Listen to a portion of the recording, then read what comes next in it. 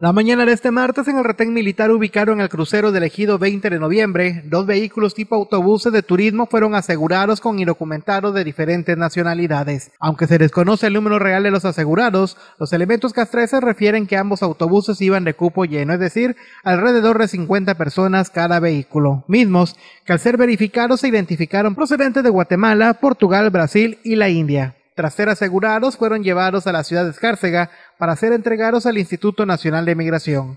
Este es el segundo aseguramiento numeroso de indocumentados que viajan procedentes de Tabasco hacia Quintana Roo.